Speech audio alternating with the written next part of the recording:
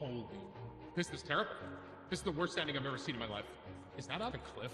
This this ending is on a cliff, literally. I wanna I wanna cry. I need redemption. This is my moment, chat. I can defeat this cliff! I die! Behold, the round MVP.